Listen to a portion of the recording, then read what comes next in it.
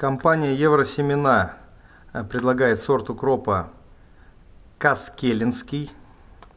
Это э, сорт среднеспелый. И период от массовых сходов до уборки э, зелени доходит до 40 дней, а до цветения 65 дней.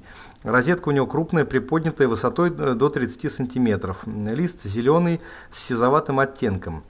Э, сорт характеризуется стабильной урожайностью и неприхотливостью, предназначен для выращивания на зелень и специи. Вот такой вот неприхотливый сорт укропа. 39,70 номер партии, вес 2 грамма.